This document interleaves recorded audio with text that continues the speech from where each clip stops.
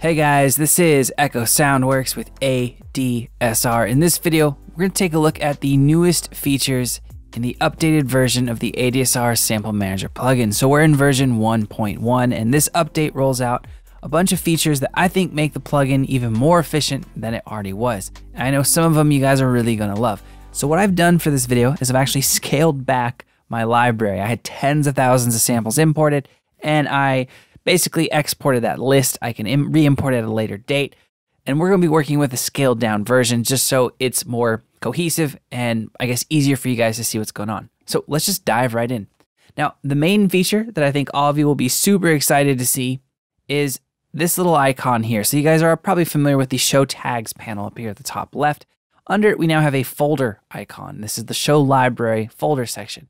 And what this will do is allow you to point and create different folders. So you can point to a specific folder, name it, right? Or you can separate things by genre. Essentially, you could you could have you could do an import for all your hip hop drums, all your future bass drums, trap drums, right? Whatever you want to do. Now, the great thing is, is you can click on any of these libraries. You can think of them kind of as like folders, and you'll see only those results populated in the main window. Now you can also hover over the eye icon and you can restrict or choose to include it in any search. So for instance, if I click this, both are illuminated. And if I start to do a search, let's type in clean, for instance, you'll notice that we have wait, clean. You'll notice that we have a drum sample, another drum sample that's been tagged with clean, and then all of the clean electric guitars.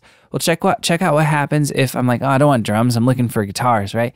I can just click this, boom, they go away and my search is even more focused than it was. So this is great. This will make finding samples when you import thousands of samples, because let's be honest, we all have thousands of samples. It's going to make it really efficient and easy, right? So this opens up the possibility to browse through your samples in a couple different ways, right? Obviously, you can type for tags, you can search through the tags panel, but now you can essentially use the ADSR sample manager plugin to basically access your samples within any DAW, right?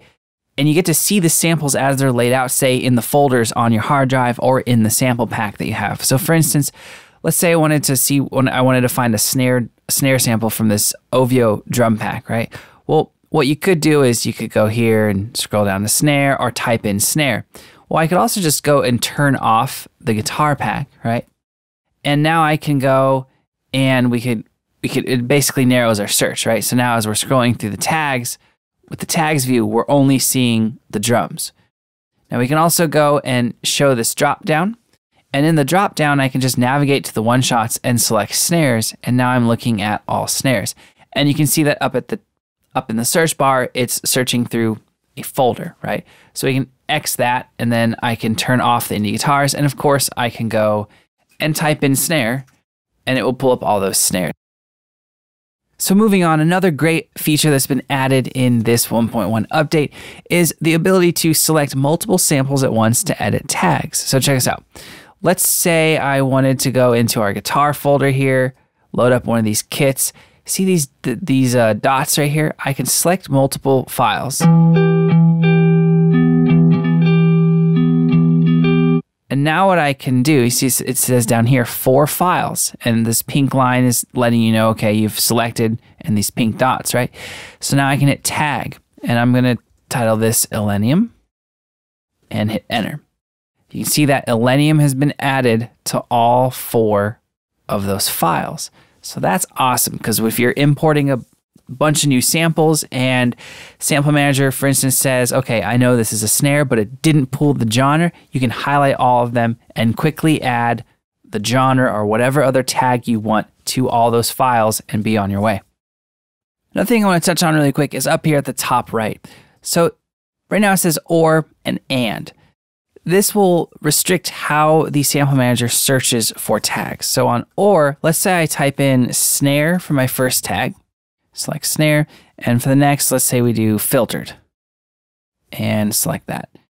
It's going to bring up all of the samples that have snare in it, as well as all the ones that have filters. So we're going to get ones that, you know, have percussion and snare, short and snare, clean snare, etc.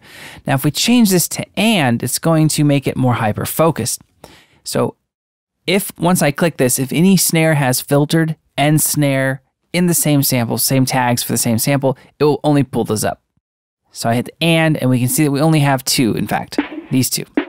So that's a great way to target your searches even further. All right, so moving down to the bottom, we have some new functionality in both MIDI modes and playback. So that's down here. And let's go through the MIDI modes first. So I have a snare sample selected, that one, playing on my keyboard, right?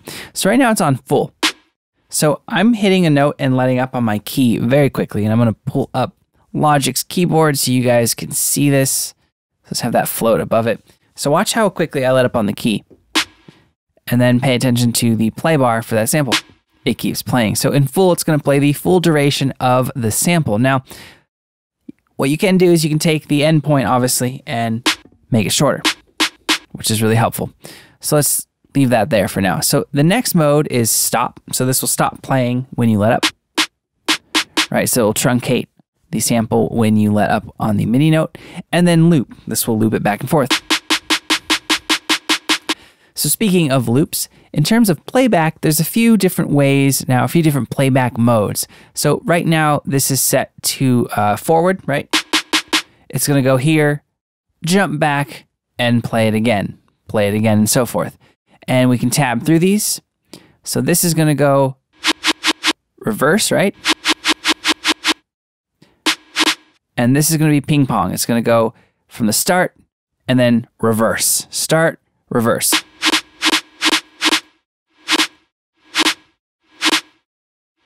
Some of the new features that have been added in the settings tab.